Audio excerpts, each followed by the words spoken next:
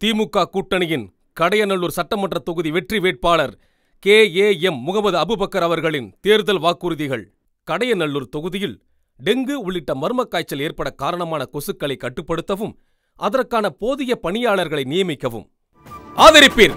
Doctor கலைஞர் அவர்களின் ஆதரவு பெற்ற கடையநல்லூர் சட்டமன்ற தொகுதி வெற்றி வேட்பாளர் கே. ஏ. எம். முகமது அபுபக்கர் அவர்களை வாக்களிப்பீர்! ஏணி சின்னத்தில்